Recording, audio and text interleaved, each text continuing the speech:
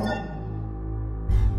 Alright guys, Tactical Rab back again today. I hope you're enjoying your day so far, and yesterday was a remarkable one. I actually got a decent night's sleep for the first time in a while, and that means we're going to be doing a triple upload once again today. There's so much going on in the Call of Duty competitive community right now. Hopefully you guys are enjoying Black Ops Cold War, those of you who are playing it. But today, first of all, we're going to talk about a bit of a spicy topic, which came out a couple of days ago on the NRG Duo podcast. You may have noticed, but I think we talked about it on the channel actually, about, well, pretty much the start of November. Hastro did a few tweets talking about how, well, winning is everything for him at least, and his philosophy in terms of esports competitive nature. And well, maybe we talked about how was he calling out 100 Thieves to some degree, being like a hoodie brand, being a merchandise brand, this type of stuff. Hector kind of fired back to a degree on the NRG Duo podcast, suggesting that look, content is the fundamentals of everything. Not only does content allow you to build personalities and build sponsorship branding effectively to the point where you can actually make money to create great teams by paying for great players, but at the same time, it also creates the ecosystem around the esports. Who would care who wins championships? if there wasn't teams making content showing why those championships are important. So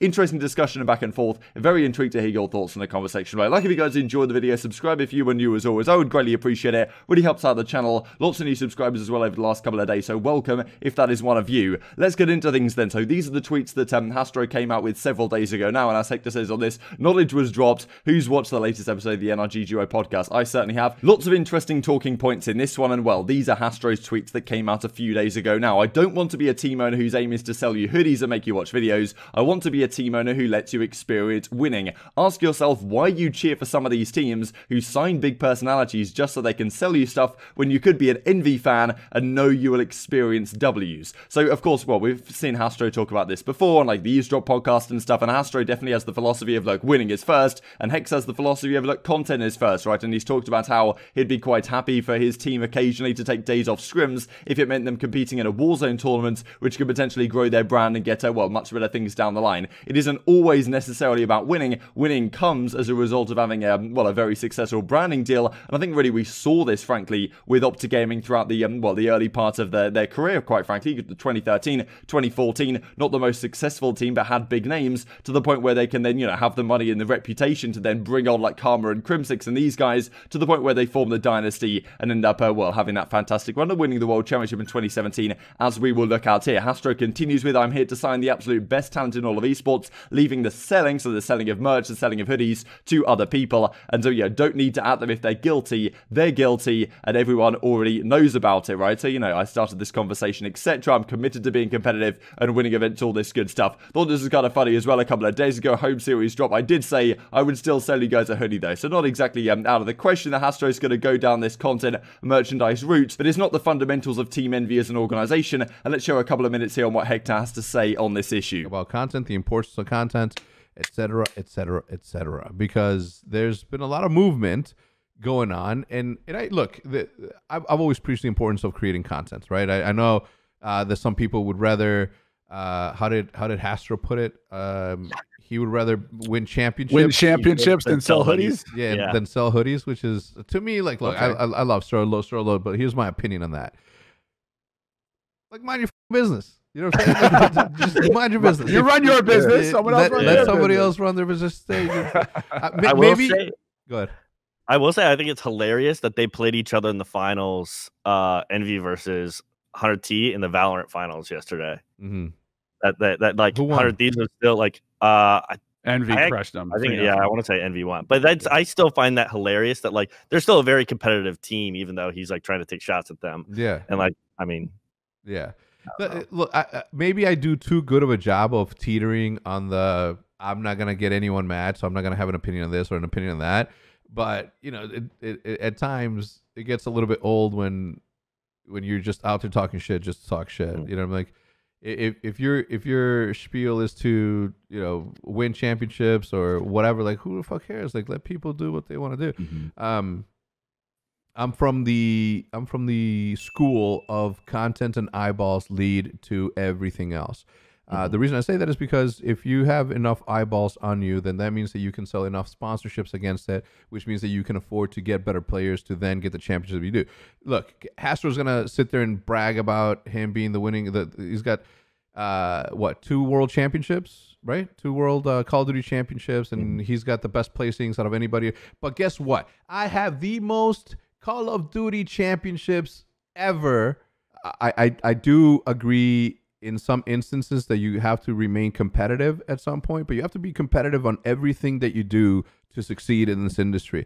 If you if, if you're not out there to win content creator of the year, you're not doing a good job. If you're not out there to win uh, esports show of the year, you're not doing a good enough job. If you're not out there to win every single, if there's a competition, you have to be about it because at the end of the day, everything that we do is competitive. It it it, arises from competitive, and it, if it remains competitive, you elevate everybody around you to be more competitive and better at what they do. So thank you to all my peers who have pushed me to be who I am.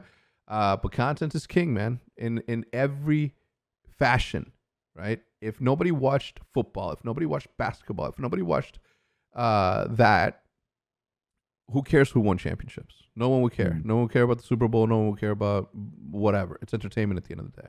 So I thought I'd just look back at some of the LAN events that Optic competed in way back in their day. And as you can see, very successful team in Black Ops 1, Black Ops 3, this type of era. And we'll have a look at uh, comparison, I suppose, in just a second. Because Hastro's always, you know, he always talks about how at the World Championship of Call of Duty, Envy's the most successful team. They have the highest average placing. They have the most victories now if you include Dallas Empire's victory, in addition to Team Envy's victory back in Black Ops 3 compared to any other organization. And have done the best at the crown jewel, I suppose, of the Call of Duty calendar. But at the same time, they haven't won as many events as uh, Optic has, and Hector is uh, quick to defend himself and say, look, you may have done the best at World Championships, but I actually have the most victories, right? And it's content in part which has helped drive that. And you can see back in the day, okay, Modern Warfare 3, very successful team, but then through Black Ops 2 and Ghosts, really did have a pretty difficult time. This is the team of Nade, Clayster, Scump, and Proofer. They won the X Games Invitational, of course, but through this period, despite not really winning too much, they were certainly the most dominant um, team in terms of the fan base, and uh, well, at every single event, Optic was the team that people were cheering for and dominating the content and the YouTube side with Nadeshot and Scump especially, and um, you know, well, of course, Hector pushing everything out in a similar vein. And well, as you can see here, this is the era where Complexity was really dominant. Envy had a couple of decent runs at the end of it, and then they kind of poached Formal from Team Envy, who won Gfinity 3, onto the Advanced Warfare team, and then this is kind of where it kicks off, right? So in part, due to all the great um, arrangements they had and the fan base and the sponsorships they could acquire throughout Call of Duty Ghosts and Black Ops 2, they then were in a great position to actually, yeah, well, get on this dominant team of Formal Crimsix and Karma,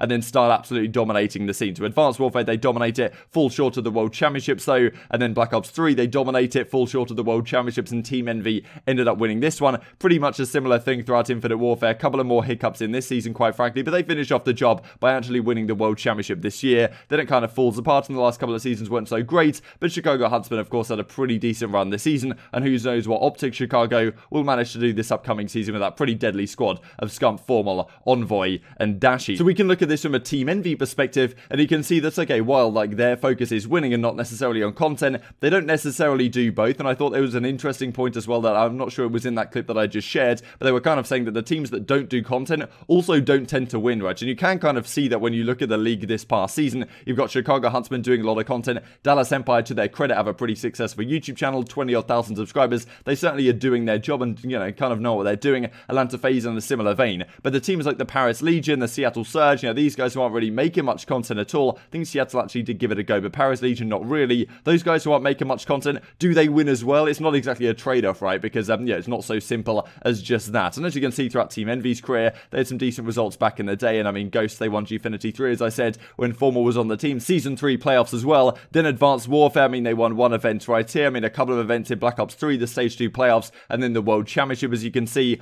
really not the best results throughout these last couple of seasons either, right? So, you know, you look at this list of, uh, well, I suppose, the, the placings here on the left-hand side compared to Optics, and despite having done better technically at World Championships than, um, than the Optic Gaming team has, they haven't exactly had quite the same success. So to finish off the video with a couple of things, I thought this is pretty interesting. We see all this yesterday as well, that Slasher and Co. are playing, well, these um, these kind of online tournaments with Kenny, TJ, and Temp, right? So that's the question, is Temp going to be on this team? What's going on right now? He seems like maybe the best free agent out there that is still possibly available for this squad, but, um, you know, yeah, pretty interesting team. Kenny certainly has wanted to play with Temp for a long while, but it seems potentially more and more likely by the day that this team will indeed be what's happening. I think, like, we mentioned a Asim the other day, but he's been playing a little bit with Clayster on some of their teams, so it's interesting to see how these first couple of days of online tournaments have gone on the new Call of Duty Black Ops Cold War. And speaking of Black Ops Cold War, and speaking of the Dallas Empire, speaking of Shotzzy, I thought this was really cool as well. So Shotzzy showing off his movement prowess. He's done this a couple of times now in different clips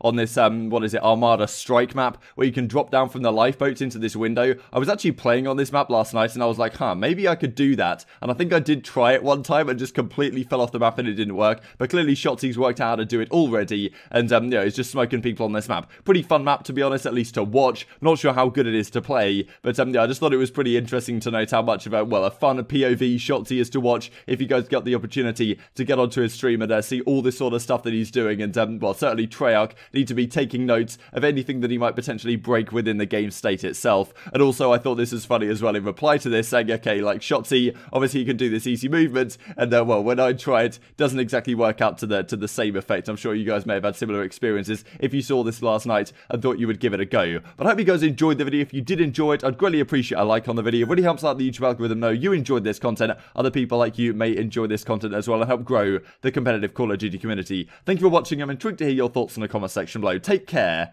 and I will see you next time.